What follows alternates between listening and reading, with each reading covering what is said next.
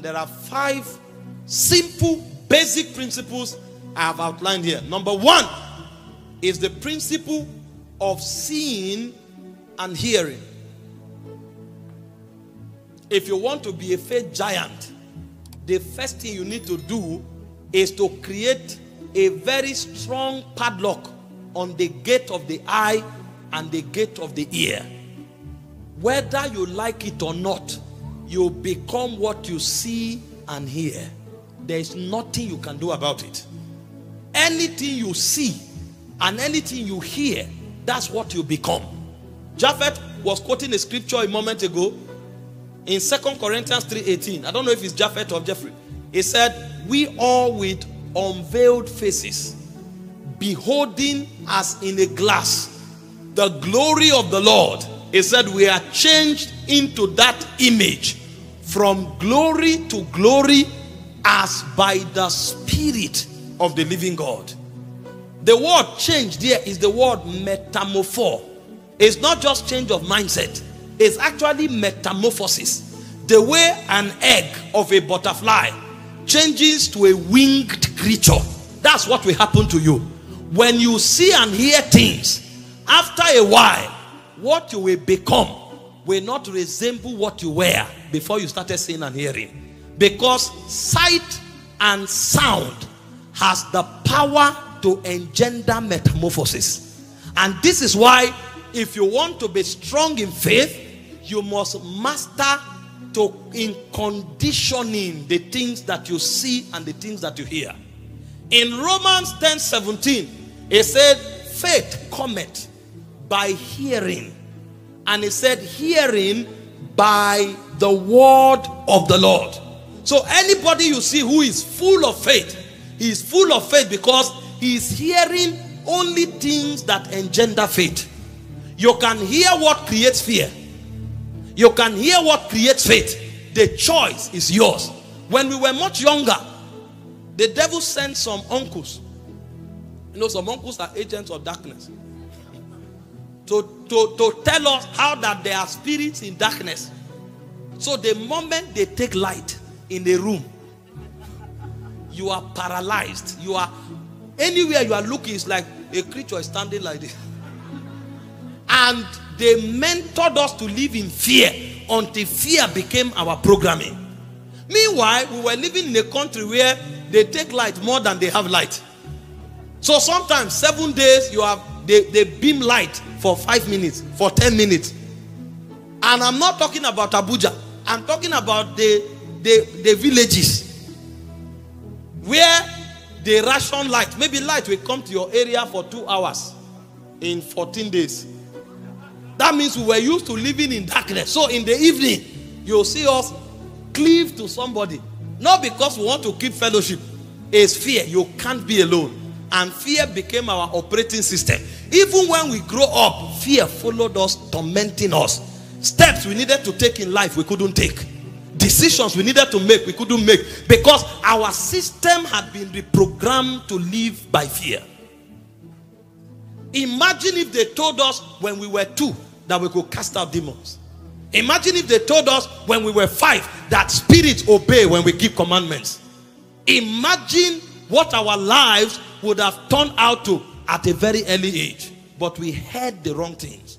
Because the same way fear, faith cometh by hearing, fear also comes by hearing. You must make up your mind to hear and see only what empowers you. And you know something else? Your psychology is designed to protect you. That means your system wants to hear bad news more than it wants to hear good news. And that's why bad news easily goes viral. The moment anything looks bad, your whole system is awoken. It's designed that way to protect you. Because if you get the signal, you can escape. But that is also a great disadvantage because now you are predisposed to receiving what is negative much more than what is good and impactful. And so, anybody who wants to walk by faith, you must guard your ear gate. Don't be too prone to hearing things that scare you. Don't be too prone to hearing things that make you want to do evil. Because not too long you will do them. You cannot deny what you hear and see. You must become it. He said, faith cometh by hearing. And he said, hearing by the word of God. In Mark 5 25 to 27, you see the story of the woman with the issue of blood. You will think her solution came because Jesus carried too much anointing. No. I will show you the foundation of that woman's solution. He said, And a certain woman which had an issue of blood 12 years, verse 6, 26. He said, And had suffered many things of many physicians. you know what this means? Sometimes you go to the hospital, they say, Take blood sample. A nurse will just bully you with needle, and the other time, somebody almost slapped a nurse. Are you an are you a student? Will you tear my hand because you want to get blood sample? They will insert it and pull it out and clean it and insert like a dagger. I this is human body. What are you? Hope you know Mephibosheth became paralyzed because of the person nursing him. They take your money and then they are bullying you with needles. Sometimes they come and say, Sorry, uh, we will change your drugs. You say, Which one? Oh, what do you mean? You gave me drugs, I took it for two weeks. You come, you want to change all the drugs. So, as after taking drugs for six months, they will now come and say, Oh, we didn't see something during the diagnosis. So, what happens to all the chemicals that I've put in myself? Doctors are trying. Don't get me wrong. but they are men. They are men. So the Bible said this woman suffered many things in the hands of physician. And the Bible also said, and had spent all that she had, and was nothing bettered, but rather grew worse. If a demon is involved, there's nothing a doctor can do about it. That's why more than 80% of the sicknesses in the world don't have cure. They only treat. That means they manage it for you. There's no cure for blindness. There's no cure for deafness. There's no cure for high blood pressure. There's no cure for diabetes. There's no cure for hepatitis. There's no cure for schizophrenia. There's no cure for cancer. Meanwhile, you, all your faith is in a doctor. Congratulations. But, verse 27. Here comes the good news. When she had heard of Jesus, this is where her answer came from. The reason that woman was able to conceive that if she touched the hem of his garment was because of what she heard. If she didn't hear enough, she would have said Jesus must lay hands on her. If she didn't hear enough, she would have said Jesus must come to her house. But based on what she heard, if this thing you are saying is true, I don't need this man to even know I'm around. So you, you can carry your faith to any level based on what you hear. The woman heard something about Jesus and she said, No, if these things are true, then it will be a waste of time and effort for him to see me. He doesn't need to see me. And she came from the back, touched the hem of his garment.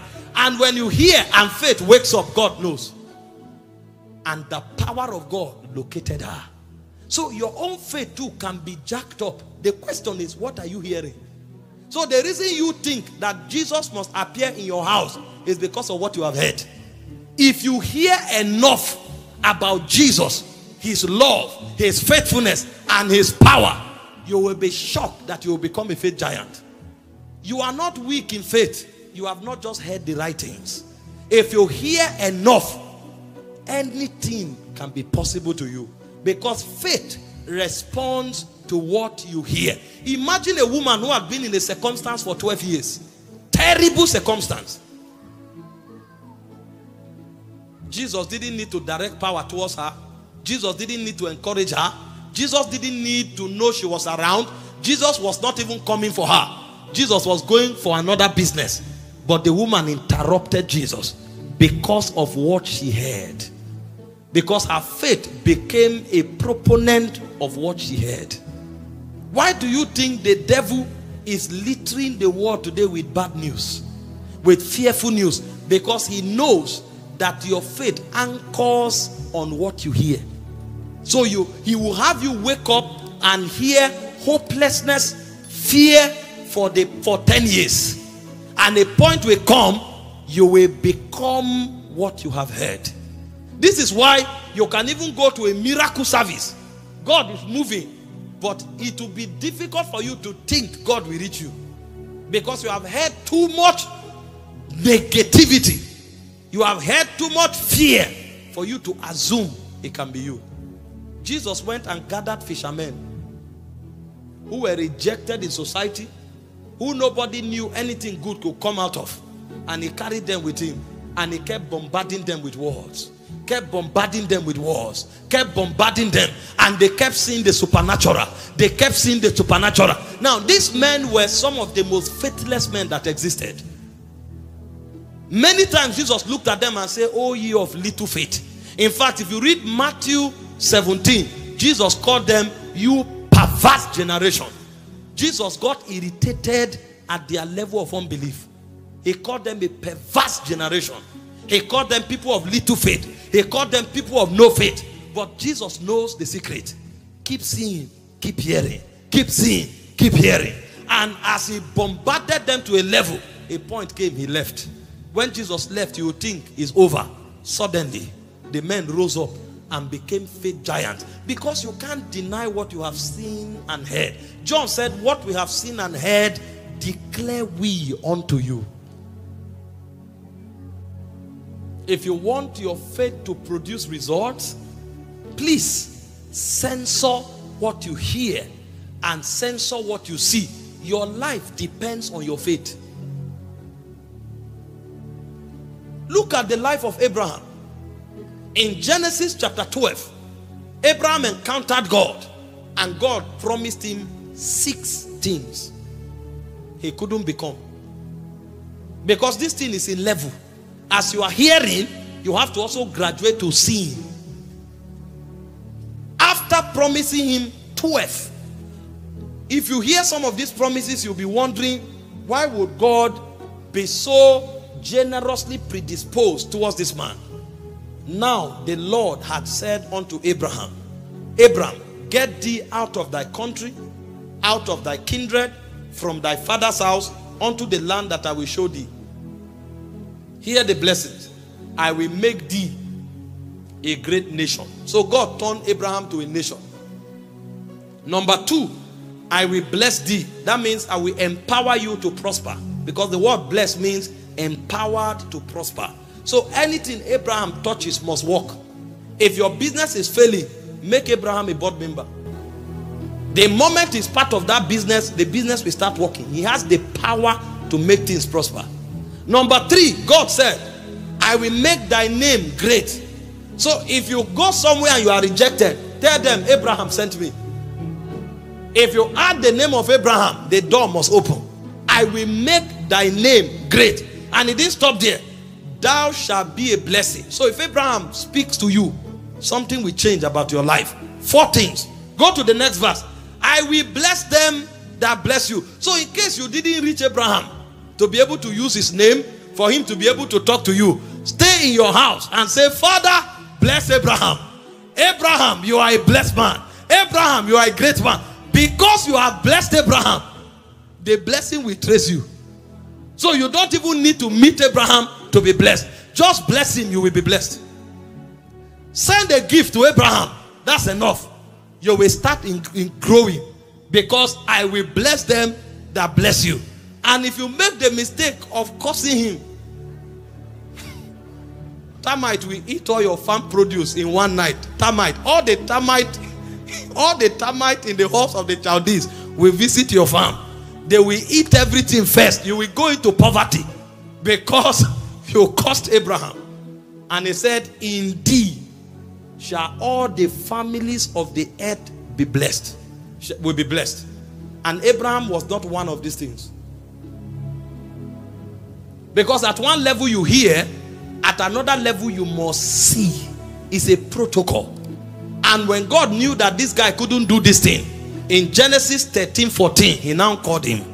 He said, Lift up your eyes, look round you. I want to give you the whole earth. See it as your own. And Abraham looked around. He said, I've given you everything you have seen. So he began to down on him when God said, In this shall all the families of the earth. Is the earth, is the real earth God was talking about. Look around, north, south, east, west. That's what I'm talking about. When I say the earth, I'm not talking about another planet. Is this one you are in? See it and take it. And even that of a child that he couldn't believe. In Genesis 15, verse 5 to 6, the Bible says God brought Abraham out and said, Look at the stars. He said, If you can number them, that is how your descendants will be. And the Bible said, Abraham believed God, and it was counted to him for righteousness. There are some who hear and believe, there are others who need to go forward and see. So they see, not physical seeing now, but seeing what God is showing them. And as they begin to see it, their faith begin to come alive. The problem we have most times that makes it difficult for us from walking in for walking in faith is that we are not seeing things consistent to the direction God is taking us to.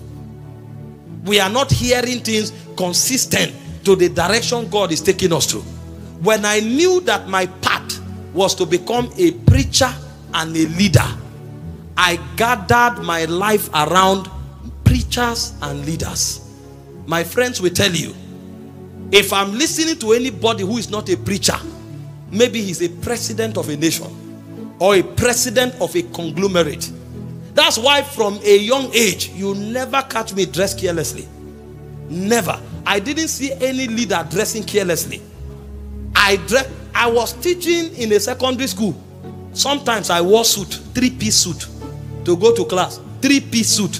I will be using chalk to teach with suit. And people will look at me and say, Oh God, ah ah, is it not chemistry? You're coming to the chalk will spoil your clothes. Spoil? My clothes rather get spoiled than my destiny. Because I was seeing myself as a leader that the world will listen to. And I don't know when my stage will appear. I went to teach mathematics with three-piece suit.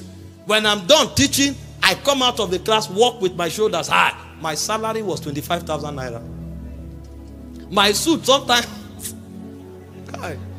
it's a burden. It's a burden. But I was deliberate. Some people who come to school is the shirt they brought from market yesterday. They wear it with a jean. Everything is rumpled, and they come. They don't care. They are still there. But those of us who were conscious of where we were going, we are no longer there. And if I want to open a school now, I can. The reason I haven't is because God has not told me. You have to be deliberate. I looked at all the world leaders making impact. Sometimes I will sit in the room for hours. I'm listening to speeches that these guys are delivering. I'm hearing the speech of Martin Luther. I'm hearing the speech of Barack Obama. I'm hearing the speech of Winston Churchill. I'm just listening to these guys. Listening to these guys. Abraham Lincoln. Any little clip I find. The way they come out with audacity. The way they walk with assurance and you are seeing these things, after a while, your personality is being formed. And when I leave them, I enter the ministers of God. I'm seeing the Pastor Chris, I'm seeing the Andrew Wommack, I'm seeing the Bishop Oyedepo, and I'm just seeing them doing wonders casually. And I'm hearing their stories, hearing their stories, how somebody just went to see a friend and they met somebody who is bedridden. They say, Get up. I say, What? You don't need to prepare for a miracle service to raise somebody from the bed. Something shifts on my inside. And I kept feeding myself with these things. I kept hearing, I kept seeing. If I was a businessman, hmm. see, you need to pay the price. Christianity is practiced. That's how you build your faith. I can tell you a lot about some of the businessmen in the world today. From how God, how, how they rose from the cradle. From Bill Gates to Elon Musk, I can tell you a lot about them. I sit down, I hear them talk, I hear their stories. But you come to Africa in particular, somebody's on TikTok, he's watching dance. How that people are naked online dancing. And then on Sunday, he dresses piously and comes to church. spend three hours, goes back. He thinks or she thinks she will change her word. And because we are told that this week you will prosper, we say, I'm holding that word. Oh, this is my week. Meanwhile, the mind is full of garbage.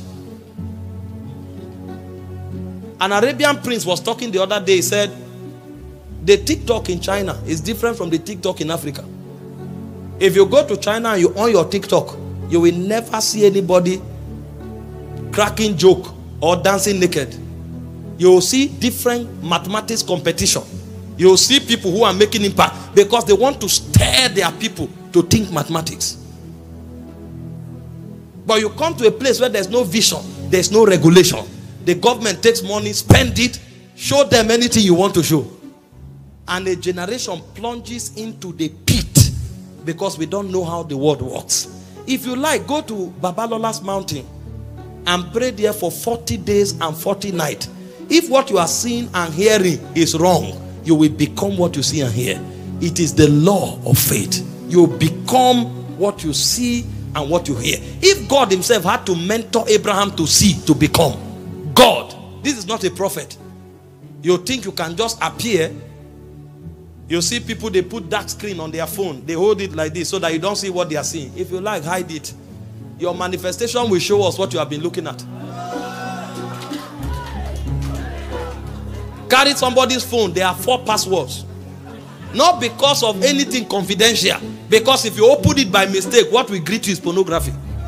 Meanwhile, he's the head of prayer unit. He's the leader of ushers. But phone must be locked. If you if you see it by mistake, he say, wait, wait, wait. What am I waiting for? Because the content cannot edify. And so people hold their phone like this. They are on earpiece 247 because you can't hear the dirtiness of what they are hearing. Even they are ashamed of what they are seeing. And the outcome of their lives become a replica of what they see and what they hear. Faith is born from what you see and what you hear. Number two principle of faith is the principle of speaking. Why what you see and hear makes you, what you say makes your word. What you see and hear builds you. But what you say build your word. If you want your environment to be consistent with your vision, you must talk it to being. Notice that in Genesis chapter 1 verse 2, when the word was in chaos, the spirit of God was moving, nothing happened. So you can fall under the anointing either when you are praying or when they are praying in church. You will stand up from there and be the same. The only thing that has the power to reconstruct your word are the words that you speak or the words spoken over you. This is why you must become careful. Listen, when you become mature, you find out the things that work and you pursue them. It's young people that are overly emotional. There's no point coming for a service. You fell down, you rolled on the floor, you cried, and you didn't catch any word. Neither did you speak any word into that atmosphere. You stand up and you go home. When you finish having that good feeling, your life will return to status quo. When you start growing, the moment the Holy Ghost begins to move, you start talking. Whether in your bedroom or in a service, the man is teaching or they are praying, and you see the Holy Ghost begins to move, either in your heart or in the atmosphere. Immediately, you don't have time for caricature. Quickly, if you know you can't remember them, write them down. Carry it out and start reading it.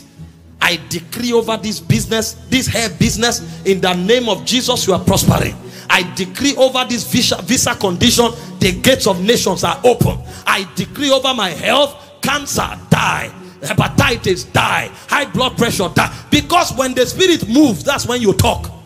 So the reason we pray, the reason we worship is so that the waters can be stirred. Let's fertilize it with words.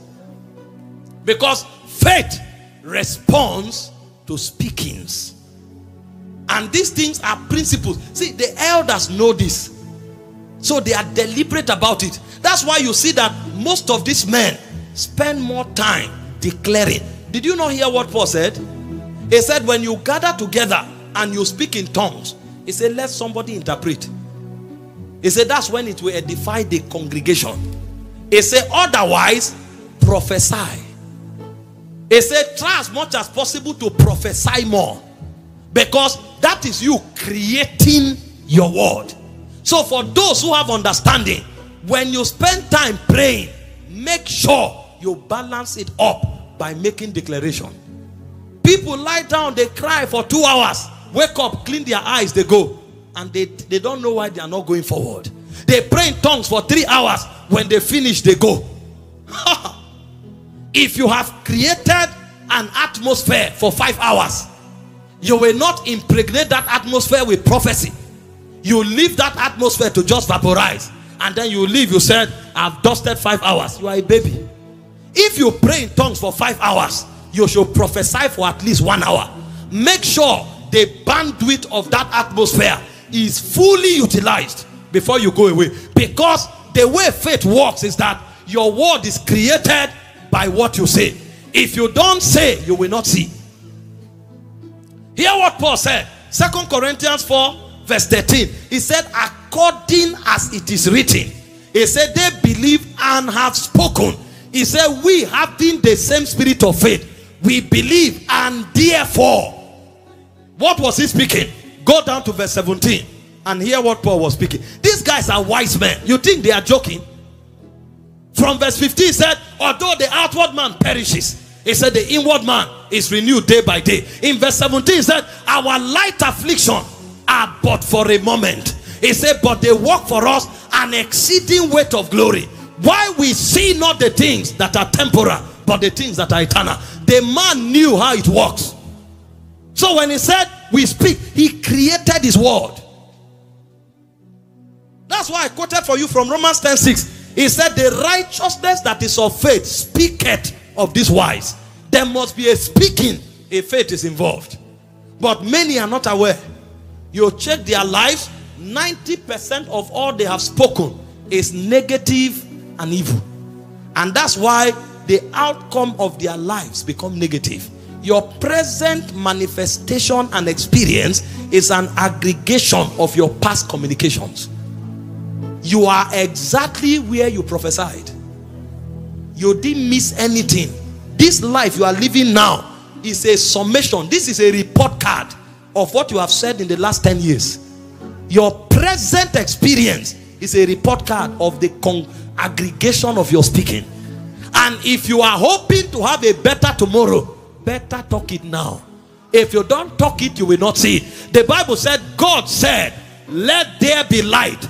And there was light. And God saw it that it was good. If he didn't say it, he won't see it.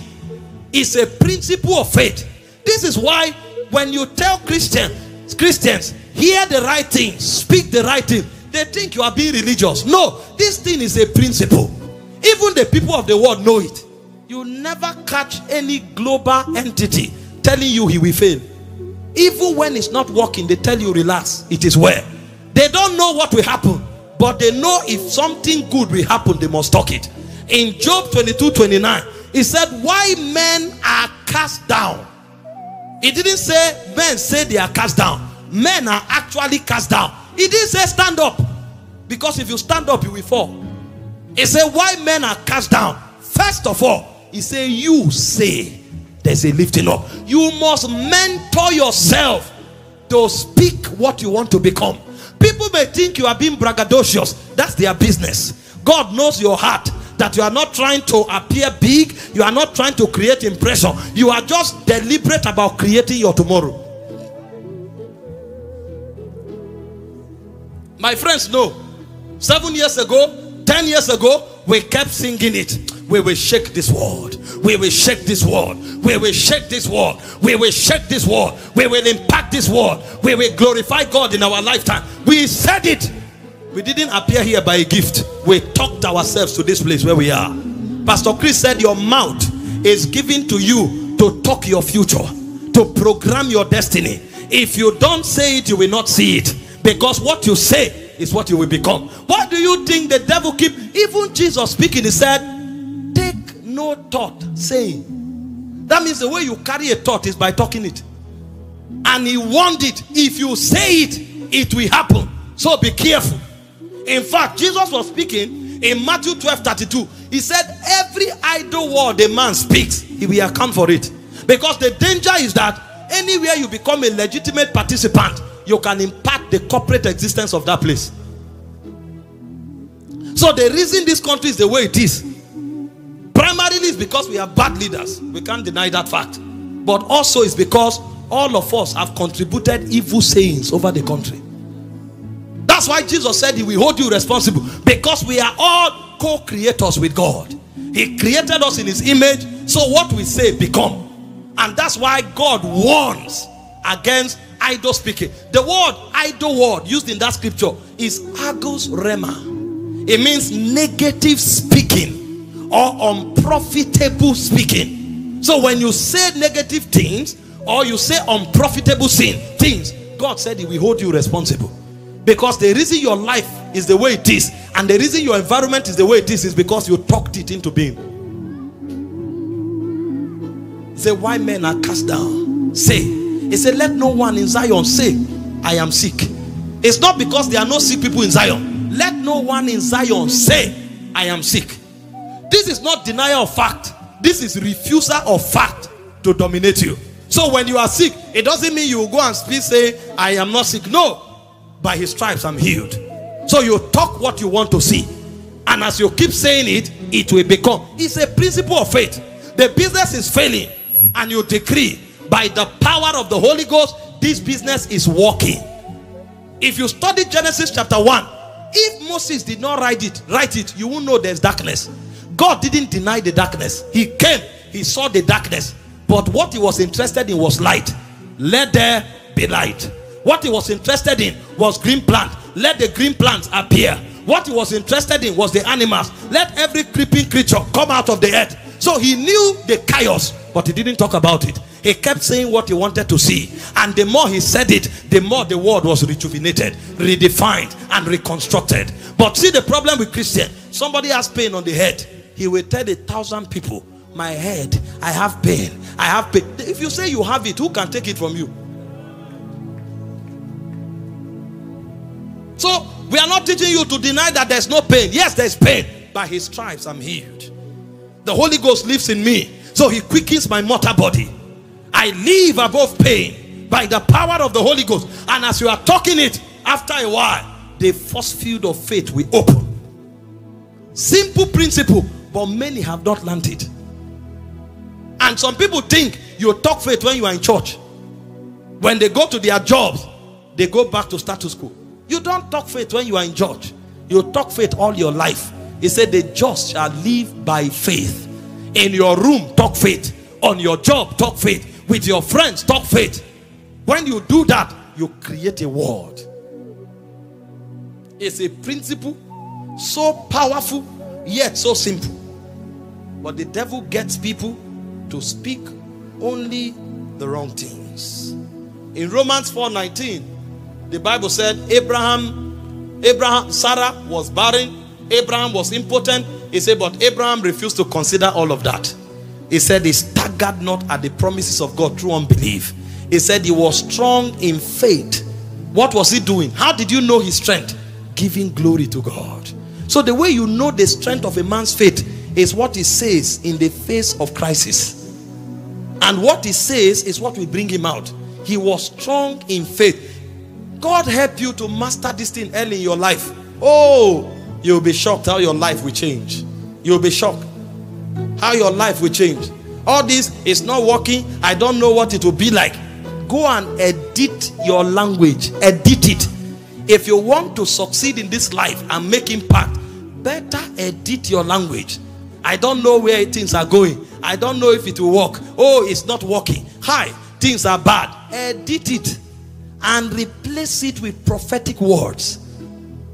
That's how it will work. If something is not working in your life, instead of jumping up and saying it's not working, blessed is the man that walketh not in the counsel of the ungodly, nor is seated in the seat of the sinners, nor is standeth in the seat of the scornful, but his delight is on the law of the Lord. On this law doth he meditate day and night. He is like the tree planted by the rivers of living waters. He produces his fruit in his season Glory to Jesus. I'm a tree planted by the rivers of living waters. I produce my fruit in my season. You have answered, it is not working. But you now answer from the realm of faith. That's how a faith man speaks. It's not when you are in a miracle service or you are preaching to people, you now start forming faith.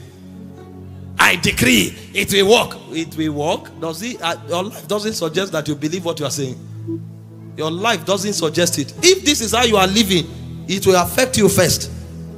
So don't allow poor pulpit make you start emergency faith. Leave it. Leave it. And when he imparts your word, when you stand on the pulpit, it will be natural.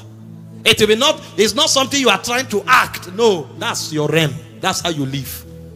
That's how you live. This is how the elders live their lives. Why do you think God told Abraham, change your name from Abraham to Abraham? It was a principle of faith. Don't call yourself a Zoom father. Call yourself the father of nations. Why do you think he changed the name of Sarai to Sarah? Don't call yourself a Zoom mother. Call yourself mother of princes. Call it. Imagine how funny it will be for their neighbors. Because you are calling Abraham, it doesn't, you think it's a name. But in the Hebrew, when you say Abraham, you are saying, I am father of nations. And they now say, ah, ah, first son has not come. You are now nation. Talk it. Talk it. That's how you create it. Spiritual things are not a fluke. They are definite realities. If you know it, you can repeat it anywhere, anytime. I heard Pastor Chris said something that blew my mind. He said, if you like, take me to a wilderness. I will repeat this thing I've done there. And this time at a shorter time. Because I have mastered it. I'm no longer an apprentice. I have mastered it now. Take me from Nigeria. Carry me to Congo. Come back in three months. You will be shocked what I would have built. I have mastered it. And that's why I told my people here. Watch, after a few years, unless God commands me, I will live here quietly, alone. Take somebody, take charge, and go to another place. Check me after a few years. I will leave all of you here, all the workers, all the pastors, everybody, and go to another place alone. Let me enter that city. Find me in three months. And this one we are doing that has taken one year, two years, is already slow. By the time I go to another place, maybe I move to Zambia, or I move to Zimbabwe, or I move to Malawi. Come in three months. What you will see will blow your mind. Because the more you do it, the more you are perfected in it. The more you do it, the more you gain mastery. Those of you who practice faith, hope you know what you were struggling with five years ago is now child's play. That's how you grow. Never catch yourself saying the wrong thing. See, if you say the wrong thing, repent. Oh, Jesus, forgive me. How did I say this? In the name of Jesus, I am not this thing I've said. And say the right thing. Teach yourself like that. After six months, check your life and tell the difference if you can. The faith, the righteousness that is of faith does what? Speak it. It speaks. Faith is never quiet. Faith talks. And it's in talking that faith changes the world. The third principle of faith is the principle of action. When you have seen and heard, when you have spoken, then you get to work where necessary.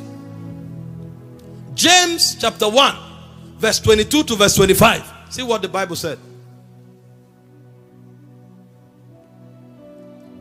I'm trying to help you deal with some things tonight. Because when we finish, all the scriptures you have been hearing and jumping and shouting, you will face that scripture. And you will draw from that scripture. And you will start dealing with circumstances one after the other. For five to ten minutes, we will deal with issues here. And if your faith is steady enough, give them timelines. Timelines. When they were teaching us how to grow in faith, they told us to start giving timelines to things so that when they happen, we will convince ourselves that they are not coincidences. So somebody comes to you and said, This thing is wrong in seven days, except I am not called. Hey! When you go back, your heart will now be beating. Did I add, if I'm not called? What if it doesn't happen? The Holy Ghost will keep quiet. And sometimes it doesn't even happen. If it doesn't happen, you go back to God and pray more. It will not fail again. It will not fail again. It will not fail again. You'll come back. You have a growth. If by tomorrow that growth is still there, I'm not called. After a while, the percentage begins to grow from 2% to 5% to 10% to 15% to 30% to 40%. And then you sit down, somebody calls you. Ah, you prayed yesterday. You said this will happen. I didn't know. I woke up this morning. It happened. You say, yes, it should happen. If it doesn't happen, we will be surprised. It's supposed to happen. That's why we said it.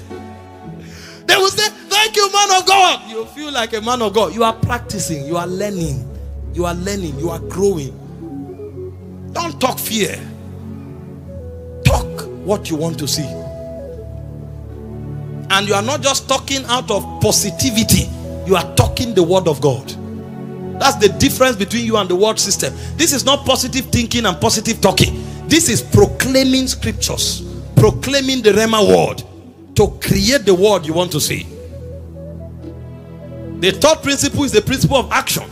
He said, But be ye doers of the word, and not hearers only, deceiving your own selves. He said, For if any be a hearer of the word and not a doer, he is like unto a man beholding his natural face in a glass. For he beholdeth himself and goeth his way, and straightway forgetteth what manner of man he was. So he said, if you are not doing, you can't retain, you can't become, you can't be blessed. The next verse is say, but whoso looketh, that's why I say we are not just talking positive talk, we are talking the word. And whoso looketh into the perfect law of liberty and continueth therein, he being not a forgetful hearer, but a doer of the work, he said, This man shall be blessed in his deed. When you see, you talk, and you do. In Acts chapter 1, verse 1 and 2, speaking about Jesus, he said he gave commandment to his disciples. And how did he do it? Of all that he both began to do and to speak. So you do what you say, don't only talk. In talking, there is no power except that it is backed up with doing. This is why we discourage people. Don't just talk lofty things. When you talk, go to work. Your action is the proof that you believe what you said. In James 2 19 20, I've quoted this to you several times. He said, Thou believest that there's only one God. He said, Thou doest well. He said, The devil also believes and tremble. The, the devil believes more than you. In fact, in his own believing, he trembles. Most of us believe God and cross our leg and say, Jesus help us. The devil trembles. That's the level of believing. The problem is that he believes but is rebellious. He doesn't do what the word says. He doesn't obey God's commandment. He doesn't act out God's word. The difference between your own faith and that of the devil is that you act God's word. You obey God's word. You live God's word. Verse 20, see what he said. But we thou know, O vain man, that faith without works is dead. We will take this word, and you have not started evangelizing your neighborhood. How will you appear in taking the word? Father, we will stand, we will stand in stadium, we will pack out stadiums for you. From stadium, from one nation to another nation. Everywhere we go, stadiums will be packed. Do you know the size of a stadium? Have you gone to your backyard to win souls? Have you won any soul in your neighborhood? And you want to gather people in the stadium? How will you do it? So faith must be backed with action. We will raise the dead in our generation. We will cast out demons. And people are excited because everybody wants to raise the dead. How many sick people have you prayed for? Because you are in a service and the atmosphere is charged. You start declaring, declaring things that you don't believe. In this lifetime, even eye, eye sockets that don't have eyeballs will grow out. Unless we didn't come here, we will not go until the world see the power of God. Power? When was the last time you went to pray for a sick person? When was the last time you went to the hospital? We just say things that are lofty and we enjoy it. It's better you go more to do and talk less than to talk and do nothing. In verse 26 of James 2, it says, Faith without works is dead. Listen, everybody you see doing mighty works of faith saw something, heard something, said something, and did something. nobody appears. Everybody grows through the rank. I was telling you on Sunday how I started building faith. First, they taught us around our finances. They told us you don't have an amount of money except you can give it to God. What? What do you mean? And they showed us scriptures how people gave to God. The day Abraham gave Isaac was the day he possessed Isaac. If you can't give it to God, you don't have it yet. And they, were, they taught us how they also grew. And from that day, we started building faith for finances. You gather your first 1,000, you give it. You gather, because you can still be giving to God at other times. But you are talking what you can give once. You gather your first 10,000, you give it to God. You gather your first 50,000, you give to God. You gather your first 100,000, you give to God. And I kept doing it. Migrating, migrating, migrating. And I can show you different aspects of my finances. From giving God 100 naira to giving God 1,000 to giving God 10,000 to giving God 20,000, 50,000, 100,000, 1 million, 10 million, 20 million, and we are growing. Once. And your faith is now big. Money can't move you. They started teaching us all this thing of squeezing offering, throwing the offering basket. You are not serious. You go to a church, even the general overseer, offering, he folds 1,000 dump and you want that work to grow, you are joking. Pastor Chris taught us how he prepared his offering. He prepared it. You don't come to church and give offering spontaneously. No, it is prepared. You come with it honorably and give because it's called offering to God. It's a seed of worship. It's not something you squeeze in your pocket. And, no, it's deliberate. Really. I started and before now, the Holy Ghost was already talking to me. Because when I was in the university, I started with 10 naira. He said, give 10 naira. Wow, 10 naira. If money is in my pocket and I want to go to church, I remove the trouser and we another one. So that God, me and God will know that I didn't come to church with money. And God battled with me until I started giving. One day and now I was serving in Kano State. And I saw the pastor.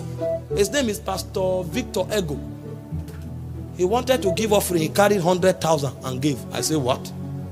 I mean, we don't do services in a week. How can you give 100,000 for offering? Uh, is this a, okay, I said, no, maybe it's prophetic seed. So every Sunday I came, I sat close to watch him. I wanted to be sure because I didn't know what this guy was doing. The guy will come for service, remove 100,000, put in the envelope and give. Remove one. I said, what? Did you go to Christ Embassy, Sabon Gari? What? 100 what is going on here i went and jacked my offering from 50 naira to 100 naira i started i started giving after a while the holy ghost told me you have been here for too long i moved it to 1000 when i did 1000 one week i came back my my pocket sank i said God, this one is for workers it's for it's not for coppers it's for workers the lord kept pushing and I started giving. You would think when you do it, your money will finish. It's a joke. The faith realm is inexhaustible. The more you grow, the more established you are. The more you grow, the more established. I started giving 1,000. After a while, I moved it to 2,000. After a while, I moved it to 5,000. Until things started shifting. I moved it to 10,000. I moved to 20,000. I moved to 50,000. I moved to 100,000. Ask yourself how many services I attend in a week whether here or outside this place, where is the money coming from? It's coming from faith. You know what it means to give 100,000 for offering? it's not a wish, it's a growth. And I can tell you that the first one is the hardest. The first one is the hardest. But as you start growing, you start entering cruise mode. Cruise mode, cruise mode. And before you know, the money will be coming from where you don't know from. Because God now sees that your resources are advancing his kingdom. He creates more channels. Creates more channels. Create more channels. That's how you grow. We stand now, we say in the name of Jesus, you are healed. Now stop. If you are healed, come. You think it starts like that? I remembered when we have to gather and pray for people with headache. Pray for four hours. You lay hands on them it doesn't work. You tell everybody, let's do corporate anointing. All of you lay hands. It still doesn't work. You carry the matter, pray overnight, and come back. Before you get to a level, they say somebody is demonized. Now we can go. We say today is a demon. Let's go and fight. And we will go pray in tongues with a demonized person for six hours for demon to leave the person. If the person is manifesting, we are happy. The demon has not gone. No. That we are able to stir that demon to manifest. It means there's something. There's something. So sometimes when you are manifesting, we say, wait, allow this person, allow this person, allow this person. because that's a milestone that we are able to trouble that demon. Leave this person. Wait, come, come on, get back, get back. You start moving around and you start discerning the spirit realm. Sometimes you pick a song and you are singing, something have started. Manda kabakaroa, velele adia, vuvakida bakai. Ezezonia, barakados, devakida hadaka. You speak some tongues of victory. Then you come back. You devil, where did you come from? Answer me now. If the person speaks, hey, Mako Erekika Tuvakaya, we rule the demonic realm. I command you now, talk to me. Where did you come? When the demon is cast out, then you don't even have discernment to know when the demon leaves. When the person comes down, you, you check, you check. You pray in tongues for a while. If nothing happens again, you say, Let her rest. Let her rest. You now go away uh, like a man of God. Let her rest. Let her rest. And then for that month, all your messages, you will speak about how you deal with demons, how you deal with devils. When you see a demon, don't joke with the demon. Go there like a warrior. Deal with that demon until you book that demon out. No demon must be left behind when you are finished. And then you now grow. A point comes. You show up, you say, In the name of Jesus. No drama. Come out. Sometimes they don't even have manifestation, but they go. And you know, and the person's life change.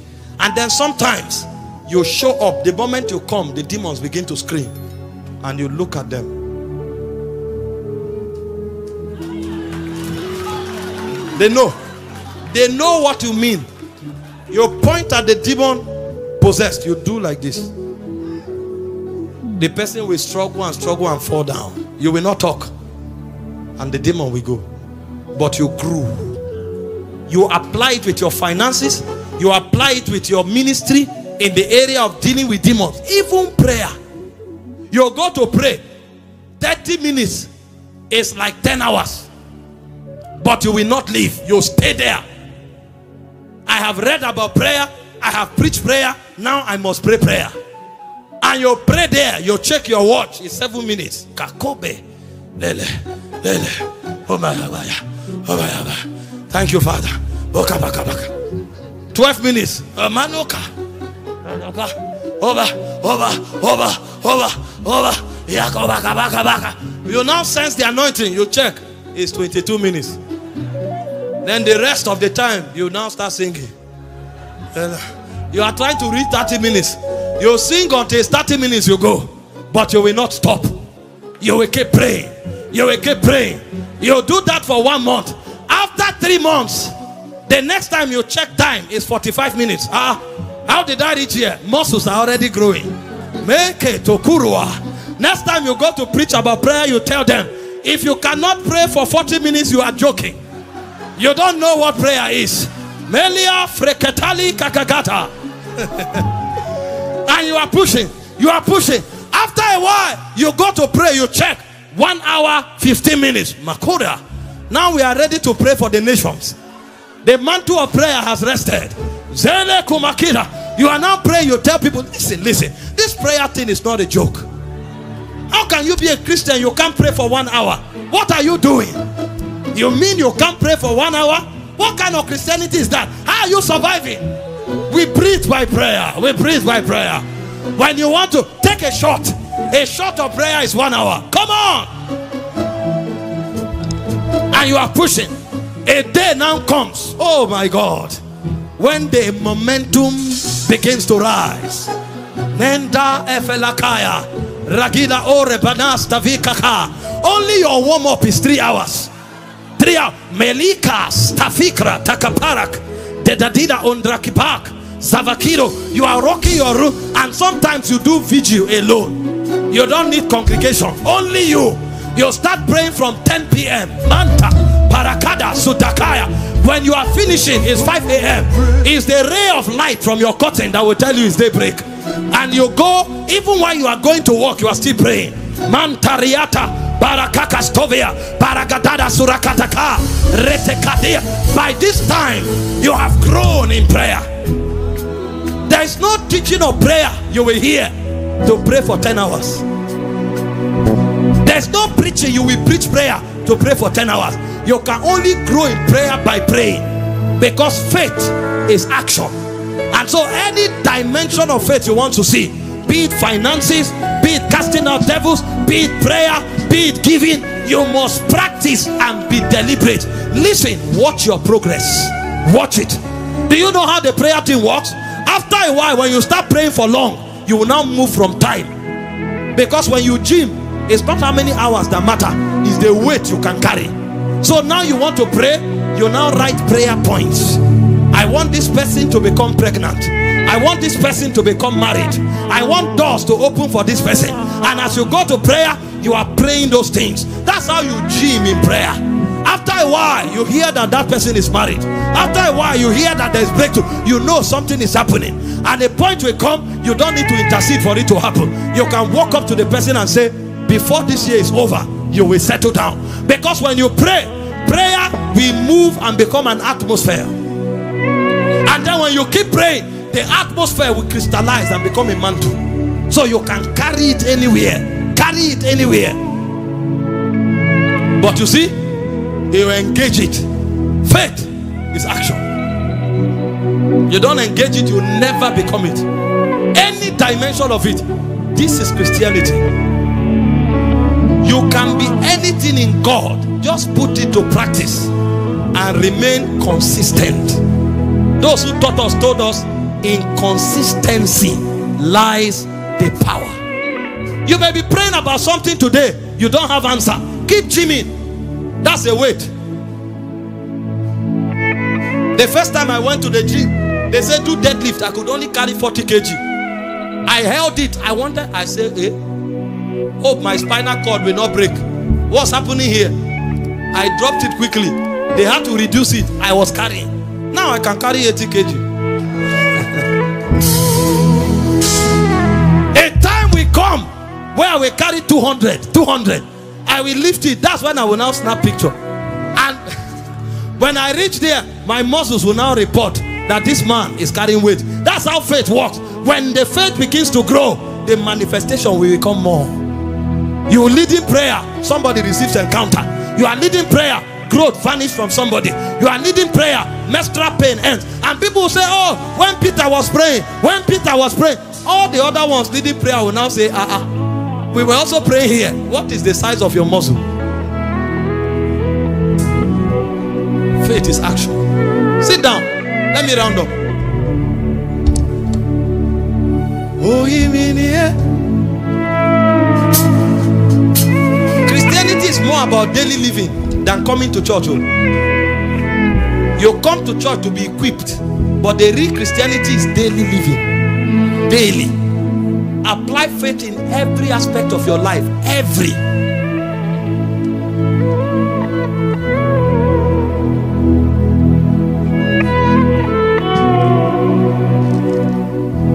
Sometimes we are compelled to share these testimonies. They are not things we will speak on a normal day, but so that you see the practicality. We saw something, we heard something, we said something, and we did something. That's how faith works. The, the third principle of faith is the principle of action. The fourth principle of faith is the principle of a conditioned atmosphere. Faith works in atmospheres. Anybody who knows faith will tell you. If the atmosphere is not right, faith will be immobilized. Lastly, the last principle of faith is that the purpose of faith is for God to be glorified and for humanity to be helped. That's the summary of ministry. God empowers you so that you can glorify Him and help humanity. So, see, when you are before a cancerous patient, don't be troubled. God sent you to help her. There should be no battle of ego. Oh, if she's not healed, I'm not a man of God. Forget those things. If you are stirred and you want to make a declaration to inspire them, go ahead. But the whole idea behind praying for the cancer to go is for you to help her so that God will be glorified. So when you are going anywhere, tell yourself, I'm going to help humanity, I'm going to glorify God. And even if the person is not healed, at least you have shown them compassion. That is something. Paul planted, Apollos watered, God gave the increase. You are going to a territory to pray for people who are demonized. You are going to help. You are not coming as Jesus Christ. You are only his representative trying to bring them the love, the mercy, and the help of God. If you see it that you are a helper of humanity, also trying to glorify God, it will take pressure and anxiety from you. The reason most times we are under so much pressure is because we think this thing is about us. It's about, so there is a fight of ego. No. You may not be a bishop. You're at your workplace. Somebody fell down with asthma. I'm not a pope. I'm not an apostle. I'm not Jesus. But I know that if a Christian prays, somebody can be healed. Can I pray with the person? You pray. You are only offering help. If the person is healed, glory to God. If the person is not healed, that's the best you can do at that time. That's the level of help you can offer. Thank God and go away and keep growing. If you know this last principle also, it will help you to walk in faith and to walk effectively. Have you been blessed? Can we pray for five minutes and deal with some things? Now, assuming you have a growth or you have a blood condition how do you apply this principle in dealing with it? Don't look at the blood condition. Look at the cross. And remember the gospel. He was wounded for our transgressions. He was bruised for our iniquities. The chastisement of our peace was upon him. By his stripes we were healed. So before you start praying, make sure you turn your attention from the problem, turn your attention to the cross. I told you you have to what? See and hear. So see what Jesus has done and let the message come to your heart. You are shifting the burdens to God. Is that okay? When you begin to see the cross, then make declarations. Every symptom of cancer, every symptom of this pain, in the name of Jesus, be gone. That's the second principle. You speak. And then the third thing, what do you do? After you have made declarations sufficiently, lift up your hands, glorify God, begin to do what you couldn't do. That is your action. And as you are doing what you couldn't do, if the devil wants to bring fear or doubt, refuse it and keep celebrating God. Can we do that for five minutes? Can we put that to work? Your business is failing. There's no money. Look at the scripture. Is it Christ rich as he was, he became poor, that you through his poverty might be made rich. If you see that, after a while, begin to declare, deal with that issue. In the name of Jesus, I break the siege of poverty. I break the yoke of poverty.